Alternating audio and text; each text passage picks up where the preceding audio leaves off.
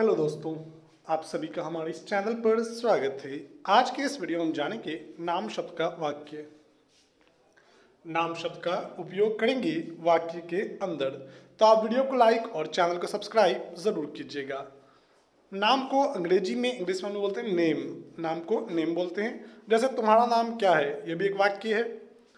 तुम्हारे भाई का नाम क्या है, ये भी एक वाक्य है। मेरा नाम आसिफ है, ये भी एक वाक्य है। मेरा नाम राम है, ये भी एक वाक्य है। सर साहब, बहुत सारे वाक्य बना